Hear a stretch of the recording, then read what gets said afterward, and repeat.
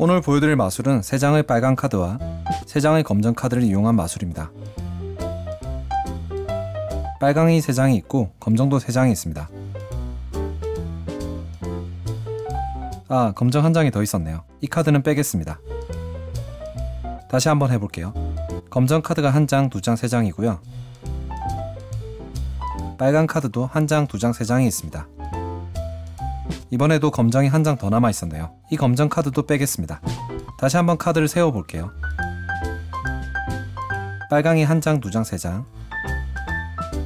그리고 검정도 세 장이 있겠죠.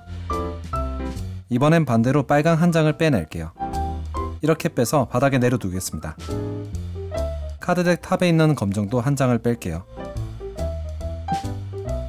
손에 든 카드는 검정, 검정, 검정 이렇게 세 장이 있고요. 뒷면 카드는 빨강, 빨강, 빨강 이렇게 세 장의 카드가 남아 있습니다.